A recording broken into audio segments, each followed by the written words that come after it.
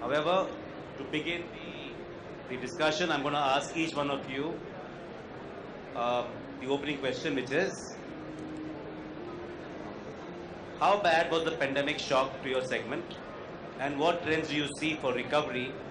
Uh, I guess um, um, Mr. Jain will cover the consulting side of the business for that particular question, while Mr. Kamath and Dhananjay will take care of the hotel and the hospitality space, including the F&B service space in India.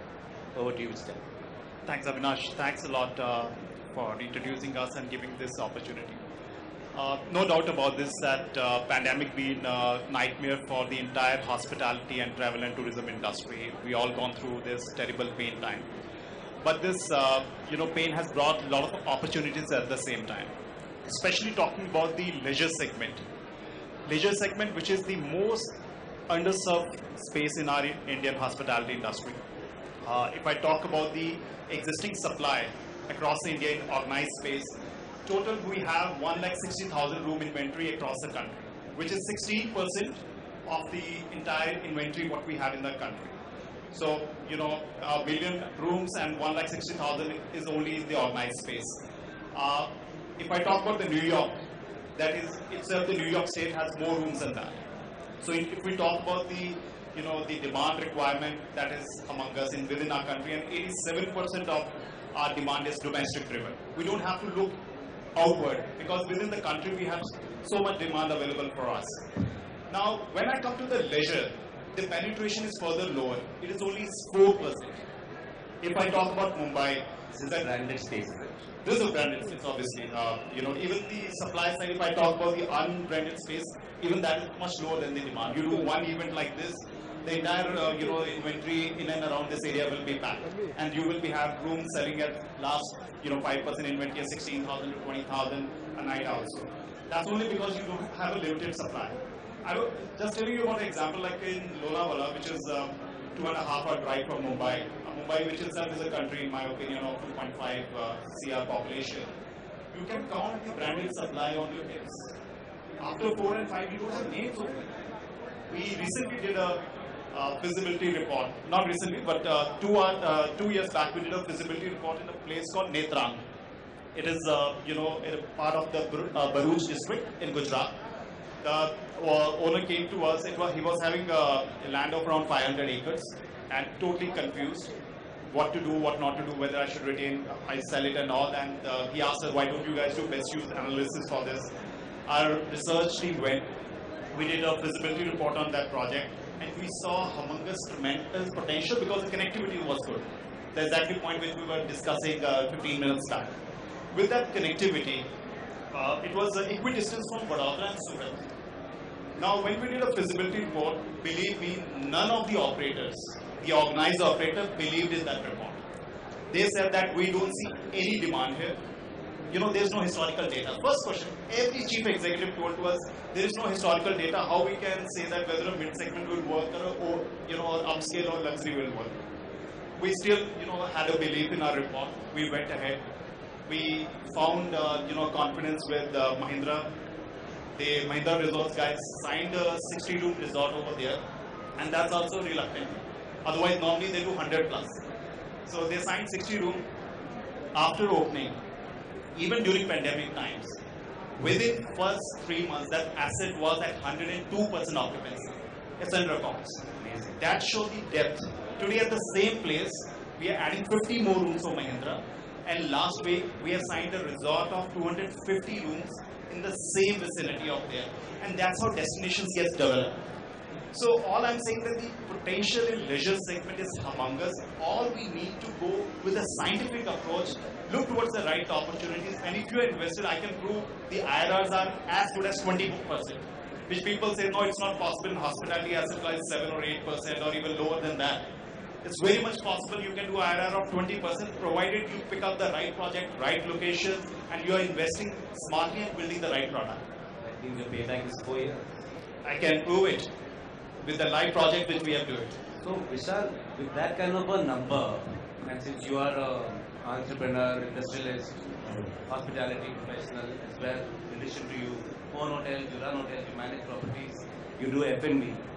What is your response to whatever he just mentioned? there's, uh, I mean, data is data. So you cannot really argue against data. You can use it to your benefit. And sometimes that's what comes, that's what differentiates an entrepreneur from a professional. An entrepreneur goes by certain gut feel and strength, innate strength, as compared to a professional who will want to take certain parameters and take a call. So if today an entrepreneur has taken a call and he has got a backing by someone like him, then he has got rewarded. And the professional, that is Mahindra, also got rewarded. So sometimes uh, in our industry, especially, it's a it's a industry of entrepreneurs. You may not necessarily be the owner of your hotel, but if you have an entrepreneurial mindset, then only your F&B will do well. Then only will your hotel have a value more than just it being a business. Like in our case, you know, our environmental commitment, which also ITC does to a great extent. So it's commendable that what is our contribution beyond just our business. See, uh, this um, forum reminds me of that song, you know, छोड़ो कल की बातें कल की बात पुरानी नए दौर को लिखते हैं मिलकर नई कहानी हम होटल वाले हम होटल वाले I mean, today I would, I did not expect so much crowd, and I'm grateful to OTM to have that confidence. I'm grateful to all these participants who have come, who many must have been skeptical, but look at the kind of participation and look at the kind of pa- people who have visited the stalls. So I think the uh, brightness of our industry is not in question. It's only about having sustainability as a thought and playing every game as a T20. I think for the next one year, we need to forget what used to happen in a certain month and take each month on its own. Like right now, monsoon is coming, some places go down, some places go up. But as we've all seen, all metrics of the past have now ceased to exist. Thanks to you know schooling from home and other things from home. So I think the time has come to play a one day every one day test match uh, every month rather than trying to make a you know uh, sorry to playing a T20 every month rather than playing a test match for the whole year and having a I think it's a mindset change that's Every day is a new day. Every day is a- So I'll circle back to you um, before we. Uh, Dhananjay, you've been through the ups and downs. You've seen how um, during COVID, pre-COVID, post-COVID. Uh, pre-COVID, Dhananjay used to be the sales and marketing head for Starwood. After which, of course, he is now head of the Fortune and he also supports the Welcome Heritage brand. How do you see the two various distinct chains or groupings that are there in India, and what is your view of how the customer views or the, even the employee views, for example, the international chains vis-a-vis the Indian chains that include us and Mr. Kamal's business as well? So, coming from the pre-COVID days, I think um, it has taught us a big lesson. First and foremost, everybody has learned something which is which will help us to improvise our way of functioning. Uh, be it an efficiency, be it an efficiency in operating our hotel, be it an efficiency in manpower, profitability, uh, owner's mindset, everything is, is was a learning. Coming to the travel agents community here, I'm sure all of you all have gone through as entrepreneurs of some travel company or working with the travel company, how things have changed. What every hotel company has seen as an opportunity with the leisure segment. The dependability on a corporate segment or a MICE segment vanished completely.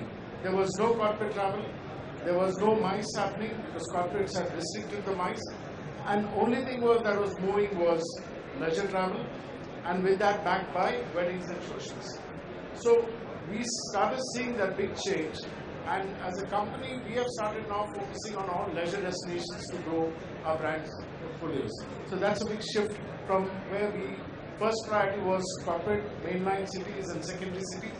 Now we are going into it, just not leisure but also pilgrimage. So pilgrimage destinations are now coming up. So people want to go and stay in a good hotel. We always thought we should not go to a pilgrimage place and spend. But recently, ITC opened a hotel in Katra, all is selling at 10,000 rupees, 8 to 10,000. So, so everybody, there is a market for this, and that's an opportunity for all travel trade people here. That how you can capitalize. Travel agents are going to be the new consultants. From a transactional mode, they have to start thinking as a consultative. It's hard to win the customer's mind now, much more than before because now you have to go on convincing. They want to know where they stay, what do they do, what are the all the things, how safe is the place, how safe is the hotel. So safety becomes the first luxury now. So likewise, all travel trade people here should be knowing about the product protocols, what the hotel follows. It's important that you guys also get educated about the brands, what do they do, what do they do differently, and how we can support you in this exercise. So learning from that, I think this is one big shift of change. Like you mentioned that it is now not a day-to-day affair. It's no more a one one uh, design. It's you keep designing and changing your thoughts every day. Thanks. Thank you, thank you so much. Okay, um, I'd like to add um, an element here. Often discussed in a lot of sessions today that the current trend is uh, transient in nature. Um, which means that whatever you just mentioned about rates, etc., occupancies, your case study, all these are happening for the moment and they will all vanish the minute outbound travel begins or the market opens. And uh, for people who are going to be investing in the future, what is your view of the nascent leisure business that Mr. Jain mentioned about? Is it going to vanish? Uh, is it going to grow? Uh, is it just a passing phase because of COVID? Or you think it's going to sustain over the next couple of years or maybe decades? We can start with um, Vishal because you handle business as well as leisure and you probably have a fair idea. Coming back to the consulting side, how has the consulting business changed in this process? Because you will be getting all the queries in your office. And of course, um, Dhananjay's hotel chain is primarily business. And how is that going to change their way of thinking uh, going forward? So, uh, while I do share the enthusiasm to expand to leisure, I don't know whether the figures will be sustainable, not only because of foreign destination opening up, it's also because today a lot of your normal life cycle is quite artificial. Your kids aren't going to school, you're also working from home, your social commitments have come down drastically. You know, we as a, as a family, you know, all of us don't have a Western or a European concept, uh, of Saturday, Sunday. You go for a wedding on a Monday to Monday. आपको तो शादी हर time जाना है बुरा लगेगा तो हमारे यहाँ की अरे कल ऑफ़िस है मैं जल्दी जाऊँगा शादी पे नहीं आऊँगा that doesn't go so Today all these things aren't there. So a family can quickly say as a nuclear thought, hey, chalo, let's go and and if you see a lot of the leisure destinations have done well around large population pockets, specifically flying out took time. So leisure will have movement of course and people are now taking more frequent holidays so that's what will definitely help the leisure segment but whether they will have these sustained numbers because let's understand Saturday Sunday is your bread and butter it is not your Malay your Malay in leisure comes from Monday to Thursday how much can you get someone to come and stay with you when your occupancy is not on a holiday time people think ulta. Many people make the mistake and think that Saturday, Sunday is your Malay time. No. Saturday, Sunday, if it's gone, your bread and butter is gone. If your long weekend is paid due to any reason whatsoever, you are stuck. But if you're Monday to Friday, you are able to take out a simple occupancy also with a decent ARR and keep the light going, keep the staff cost going, take out the food cost, you're going to have a great EBITDA at the end of the month. So it's not about a Saturday Sunday. Many people fall in, in F&B especially. Many people come to a restaurant and say, अरे यार गया था Saturday रात को जगह नहीं था मालक क्या छाप रहा है But the reality is, you come on a Monday to Friday, or rather a Monday to Thursday. How much has that restaurant been able to pull as a brand in terms of offering customers on a weekday? That will decide whether it's a successful restaurant or not. So, so leisure is definitely So the way you're saying forward. that it's a, we should temper this enthusiasm, what you're saying? I feel even everyone needs to be prudent. You cannot do business based on sunshine. You have to be able to say, okay, if it rains, what happens? Where's my umbrella? And at the same time, when it's shining, how do I make hay?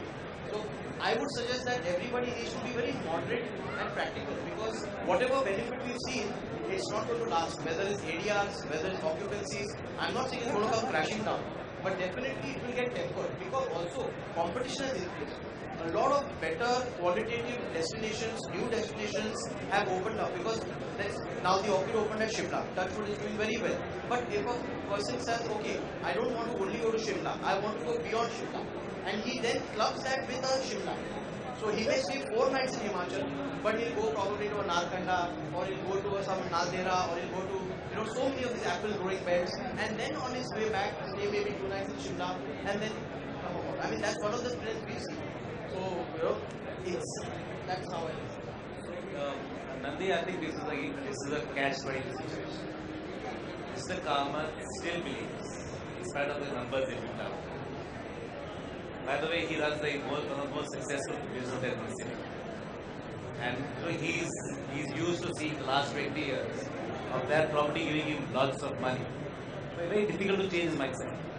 However, consulting fund which I counter because you know, he has to decide next stage of business. Where should invest?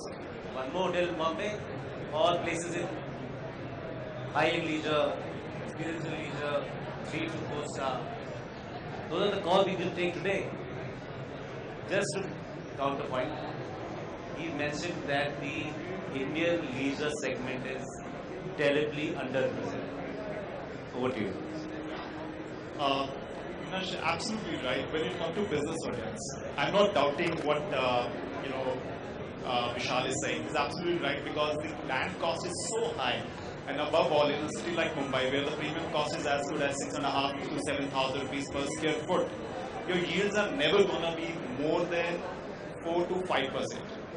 You can't even service your debt. If we go with the Western standard where equity proportion is 20% and 80% you take from the uh, banks to build your project, for sure that's not going to work in India scenario. All these projects go went to NCLT or into the banking defaults. The simple reason because debt proportion was more than what that debt structure can survive for. So I'm not at all saying that the business hotel have a very shining time. No. In terms of the, I will say it's a time of consolidation rather when it comes to business hotels. You know, uh, you need to realign your debt, you need to raise equity, you need to bring it down because that's a fundamental problem what we have. You need a separate debate to discuss that what are those fundamental problems. Okay, because the finance minister or finance ministry I will say yet to understand that it is an infrastructure, it's not a real estate. The biggest problem that we feel that hospitality hotel is a real estate, which I completely disagree. It's a real estate if I build and I sell, or I lease it out and my role from that project is over. I'm not doing after building. I'm running a business, just like the automobile business or textile business. Now, if you want to, you know, position as a country as a, on a global tourist map, global travel map, you need to have more supply.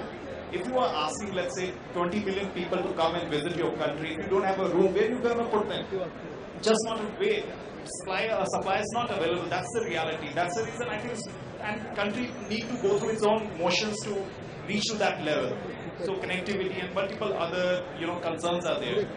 Coming to the point which I mentioned in my opening remarks about the leisure potential, I strongly believe because the penetration is so low, okay, there is still immense opportunity to build more. My organization, which before pandemic used to get feasibility reports, like 80% was for business hotels and 20% was leisure, is have reversed now. 80% of requirements, and those requirements are like large. We are right now running a feasibility report in a market called Sindhudur, which is uh, like 40 kilometers away from uh, Goa, uh, Mumbai airport, I will say, 30 to 40 kilometers away.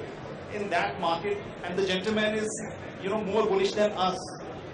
Okay, because he's seen, and he's absolutely right. The entrepreneurs have a, works a lot of time on a gut. They need a consulting partner like us to you know, balance out that uh, conviction what they have. Mark my words, in next five years, you will find tremendous opportunity and supply coming in these destinations which are open for weekends, which are open for mice, and mice will definitely come back. It's a matter of few months. It's uh, all the, uh, we actually done a recently survey where we uh, went to IT companies, automobile companies, and we have done uh, spoken with their HR departments, admin departments, and all that. They all have requirement for this. And uh, January was a bad month. I'm not, you know, disagreeing because obviously Omicron and all. But if you look towards the March numbers, the markets have already picked up, and next quarter, hopefully, the markets will be back to pre-pandemic levels. just want to add, I just want to add one point. Uh, it's not that I'm saying leisure is not the way forward or the way forward. I'm just saying that as an owner, you have to have a balanced approach. Like look at us. we also have leisure. We have Fort Jadhavgadh at Pune doing exceedingly well. We have Lotus at Goa. We have Lotus at Konark.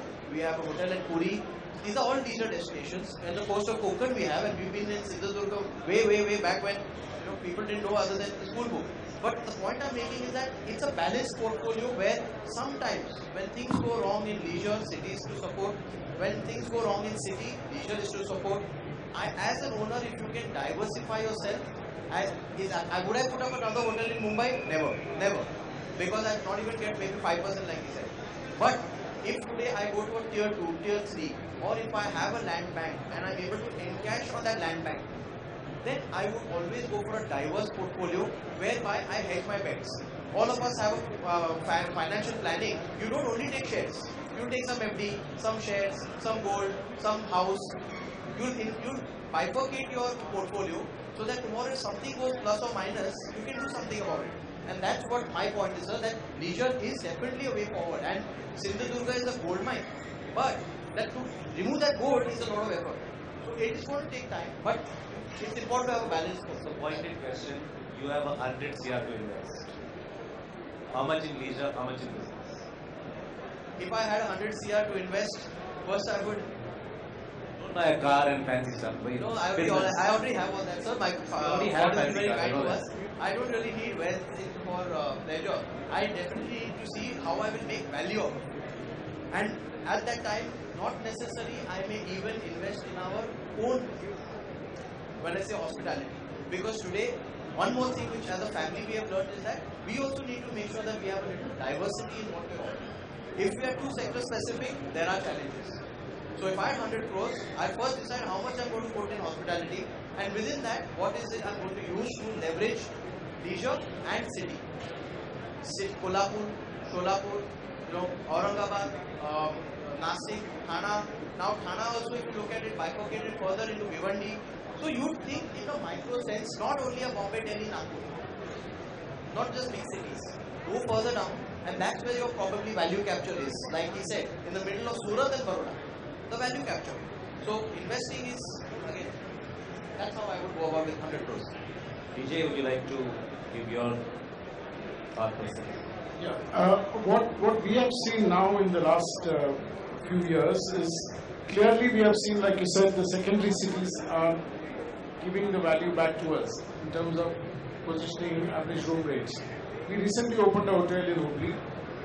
It's a second, it's a stunning hotel right in front of the airport. The owner wanted to invest. We were initially hesitant whether we should go for it or not when we did the assessment. But we have now positioned ourselves as a market leader with a 4,500 ARR, while the others are all around two and a half, three. So value will come. Uh, the positioning has to happen, and we have to in turn give that value back to the customers and to the ownership, both sides, the stakeholders.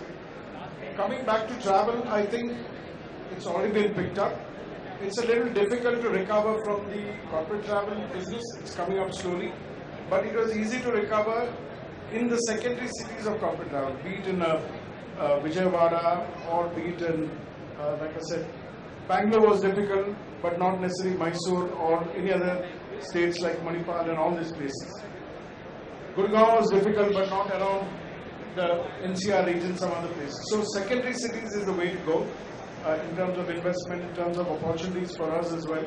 Uh, but having said that, leisure will continue to drive in a way to balance out the portfolio, like you said.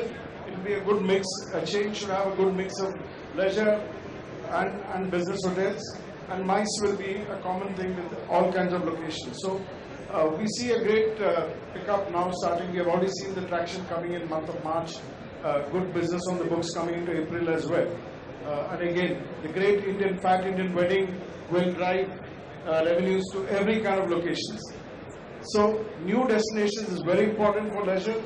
I think otherwise people will get bored going to the same places. People want different new new locations, new hideaways, and all kinds of accommodation are taking place the space here now. It's not just a great five star, four star. We are seeing all kinds of locations. Homestays are picking up. Everything is picking up. So opportunity exists from the complete accommodation levels. It doesn't matter what. People have different options and everybody will survive as long as we give back the value to the customer. So consumer is the king. and I think we work around that. It's important for travel consultants like you all to change your hat into a consultative mode than simply being very transactional. So that's a bit of well said.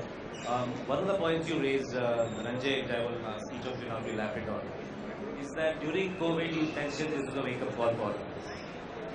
Now, having said that, what are the fundamental changes that each one of you have made in your own organizations, which you feel will dramatically change the way companies used to work earlier and the way they will work the next five to?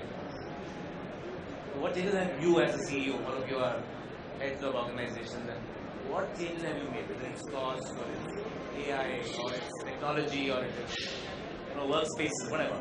Yeah, from the ownerships, cost management becomes a high priority item, but at the same time, we can't get into that level that will compro- compromise in services. So I think clients are looking for getting the value. Like I said, safety is the first priority now, and luxury is not anymore the first priority. Safety becomes a new luxury. So people are looking for that, whether the protocol is maintained in that hotel. So we need to have those talented staff. We should bring back those uh, investment back into people, the people who are in the, the employees of the hotel, and give that services. And they have to be trained. I think training is very critical now to make them feel uh, it's not about just the way they used to serve or the way they used to do the things before. So the new approach will start happening, and it is happening. I mean, since COVID, we have all learned that. Uh, so I think that is one of the points. Uh, another point, what I would say is, wherever you have the direct access, that destination will thrive. Easy access is what people are looking for, be it international, be it domestic. I mean, I'm talking as an industry outbound in- on uh, international, whichever that, I think we drive away direct flights, those destinations will pick up, will continue to thrive. So we, as investors, you should look at that as also as an opportunity. But again, new destinations are required. New hideaways is very important that we set in the road. But all these places never heard of. While popular Jaipur, Goa, all these other uh, traditional destinations, we have to move on from those destinations and give value to our customers. So Avinash, actually, uh, for our side of business, we actually went for the expansion. For, for us, it was a consolidation time. We just sold two hotel companies. One was uh, subsidiary to Royal Orchids, uh, three hotels. It was acquired by East Metric. We completed uh, qu- last quarter that transaction. And the second one was with the large group of hotels. Uh, it was uh, 1589 hotels. They also had a portfolio of around 40 hotels. So that was acquired by Suba Group. So, uh, like that, last year we completed 100 uh, assignments. So it was we were on uh, expansion spree internally because consulting business little different. Consultants, you add people to your staff? Yeah, yeah, we did that. We opened uh, three new offices. really went up in COVID. There was genuine demand for consulting assignments. The decision which were prior you was taking without taking a expert advice or expert scientific data, I will say, people want to be more conscious. In the West, it works very differently. You don't do any project without a feasibility report. You first ask for it, and then you take a million dollars, you know, investment uh, calls. Here, you know, a lot of my entrepreneurs were taking call without conducting a feasibility report or without even signing the brand. They're almost on the verge of completing the project, and then they realize let's do a brand, which is very inefficient way of doing business, if you ask me to be honest. So, but on the uh, you know operation side, uh, I, was in one of the panel discussion a few months back, actually during pandemic time. I was sitting on your seat as a moderator. So I asked uh, one of the global uh, international brands, uh, global CEO, in your Dubai hotel of 450 rooms in uh, they have in Burj. Sorry, I'm forgetting the micro market, but they have 450 room hotel in Dubai. So I asked him, but yes. So I asked him that uh, there you have a staff of 200, and you have seven F&B outlets, 450 rooms. It's a vertical hotel with 200 people. You are managing that property. How come in India you have an asset in Goa with 150 keys, you require 300 people? For 10 seconds he was quiet. He didn't have an answer. Then he said that uh, in very simple and with a smiling face, the cultural difference is there, Nandi. That's the reason, you know, I required 300 people here and, uh, you know, 200 people there. So then, uh, you know, I asked, now at the pandemic time, obviously owners can't afford where there's cultural issues because same Indian is going to Dubai and working same guy is working here. So how come, uh, you know, we're going to fix this? And that's how most of the brands, after, uh, you know, in the pandemic time, they started giving skills again to the people, started giving the training because they went for layoffs and all that, and starting bringing the concept of multi-skilling. Otherwise, there was a you know taboo that if I am standing behind the desk and the front office executive, how can I mop a floor? This was a taboo which you know it was existing, which as I believe in. I don't know about your hotel, but uh, I hope that is prevailing. And you see, every work is a work. It has nothing to do with you know grade A or grade B. Multi-skilling and upskilling is the new mantra. So- Sir, thank, thank you. Sir, uh, uh, any structural changes you made in your organization, the way described by these So well said that during pandemic we had to bring things down and yes abroad they work on a 0.45, 0.6 uh, room to man ratio. But again what he rightly said culturally and if he understands that we also need to appreciate that he's understood it with great depth. Whatever today manpower ratios we brought down our staff to, it will go up. It will go up because there is a fundamental difference in how when we eat in India and how when you eat abroad. In abroad when you go, like in India when we go for dinner, all of us if I we, we decide that, that, चलो खाना खाने जाते हैं तो आप क्या बोलेंगे बेटा दो भाजी लाना और if we are suppose three of us तीन कड़क रोटी लाना खाना है छः तीन कड़क रोटी लाना वन सी अरे बेटा कांदा नहीं लाए अच्छा अरे इसका चटनी खत्म हो गया but when you go abroad you have to behave the way they expect you to, which is at one time. Even if your food gets cold, you will order at one time. You will order at one time, the waiter will come with the food once. After that, the waiter will not come back to your table. And I'm not even talking about a mid level restaurant, I'm talking about very fine dine restaurants. And there the culture is acceptable. हमारे यहाँ wastage नहीं करते, इसके लिए पहले भाजी मंगाएँगे। अच्छा और चाहिए क्या? खाओगे? कौन सा खाओगे? कंसेंसस बनता है। और बोले, चलो, पनीर, मक्खन वाला और एक मंगाओ। वहाँ ऐसा नहीं है। वहाँ मंगाना है वेस्ट हो गया, या तो बाँध के लाओ, नहीं तो छोड़ देते हैं। Now all this is part of your food cost in India we cannot afford these luxuries because the food cost does not, the dollar spent to rupee spent is not the same. That's why a foreigner thinks India is cheap when they come here because they are doing it to 77, whereas for us it is 1 rupee. Up. So in, you cannot compare these matrices.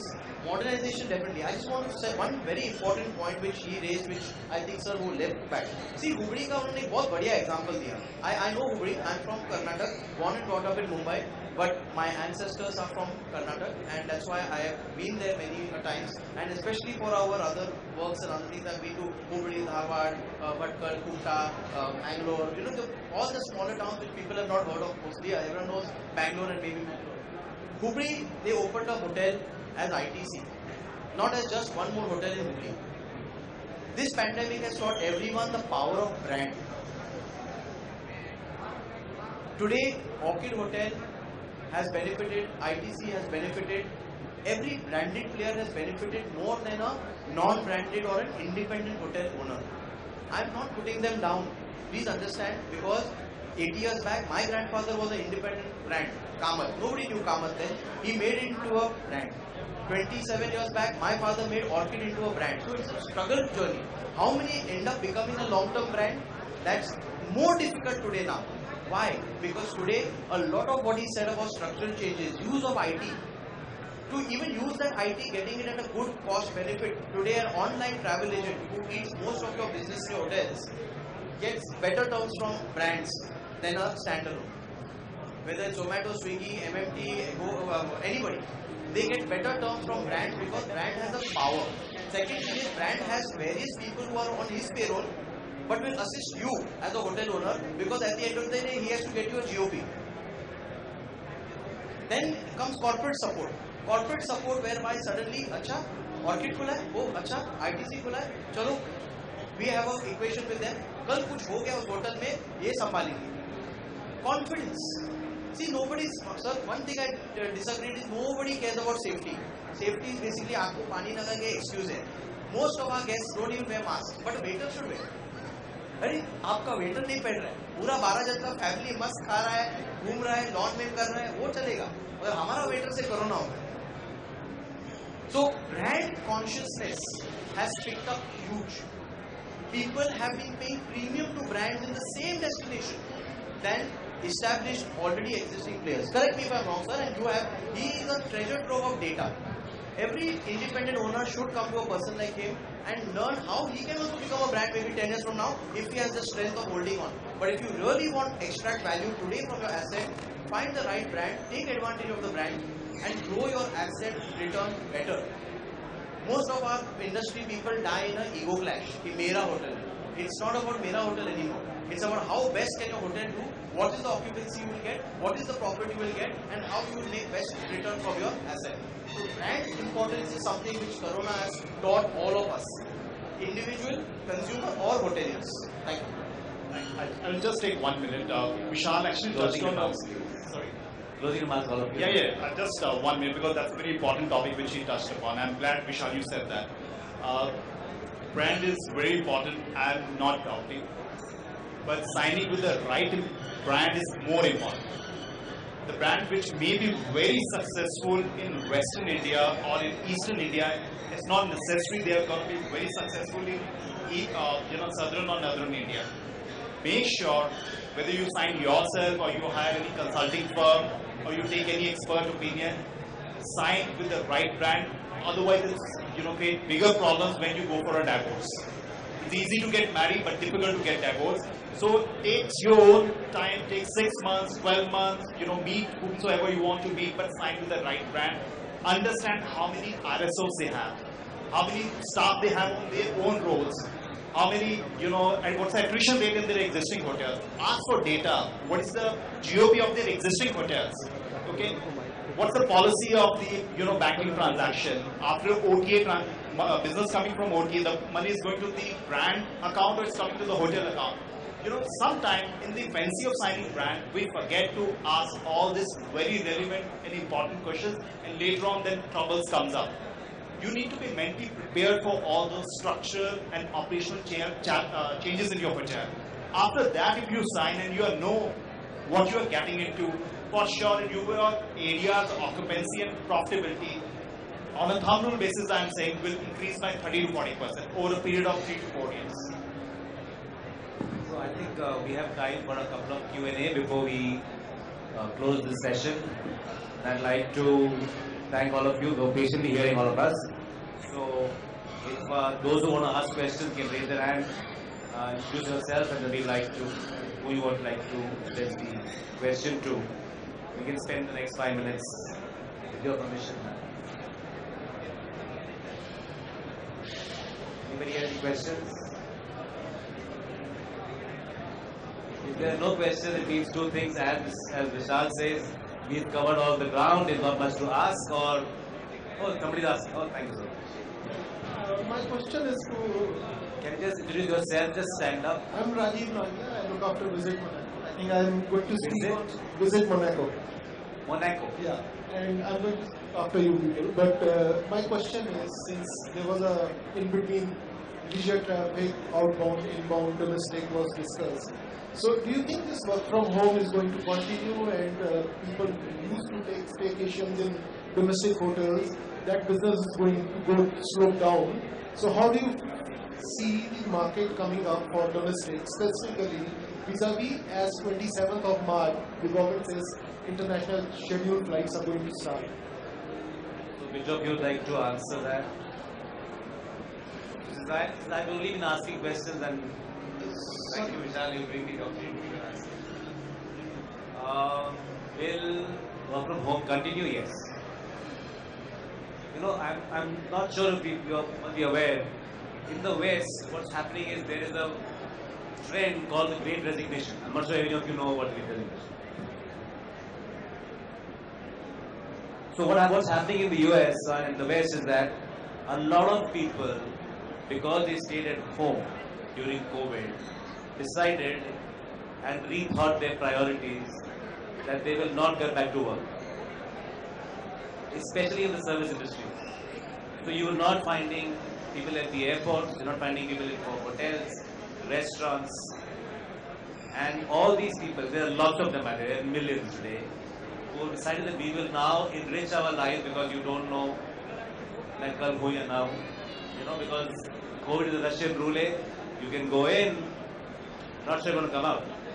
So the great resignation is ensured that people are putting more and more focus on their personal priorities, at least in the West. Not so much in India, but a lot of our industry is based on the West. I, I live in Gurgaon, people in Bangalore, Bombay all know the, the call centers, knowledge centers, the scientific um, centers being set up by all the various countries are all America or Europe oriented. So the great resignation is changing the way we work. Um, every international MNC is developing policies for hybrid workspaces. And you mentioned MICE. MICE is going to be part of that uh, change. MICE will become or should become, will continue to become a hybrid space from now on.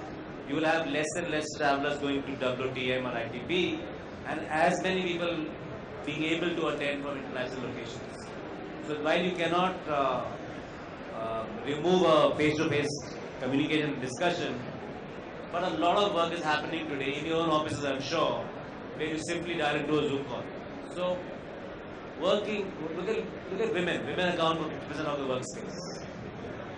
And the overwhelming thought process is that you will have to allow women to work in a hybrid workspace.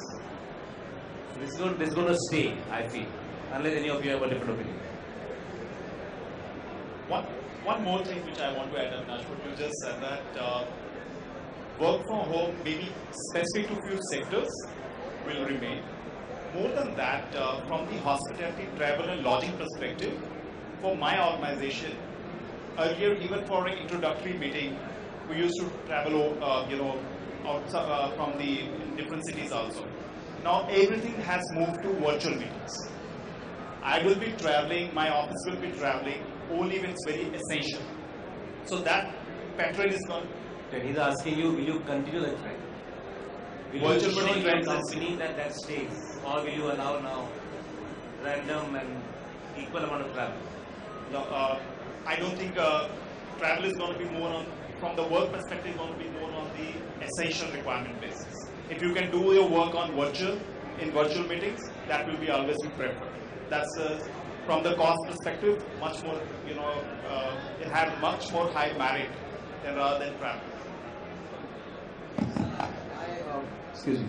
Sir, I think I have a slightly contrarian view. Most of the people who are working in India being a young workforce, especially the women, especially the women, sir, don't go to a job. They go to a life. Many women, especially coming from very conservative backgrounds, aren't taking up a job only to support their family.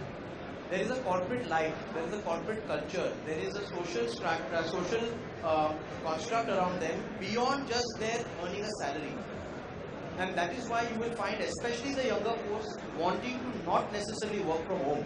Work from home, especially in my friend circle, has been the more affluent and the ones who can afford to go or not go to office because his thumb is not required. India is not, Indian culture is not made for work from home. We are not a community of people who can dedicatedly give our that much time to work from home because the minute you're working at home, you're staying with your in-laws, UAT क्या करते? Computer work अच्छा चाह आप जरा.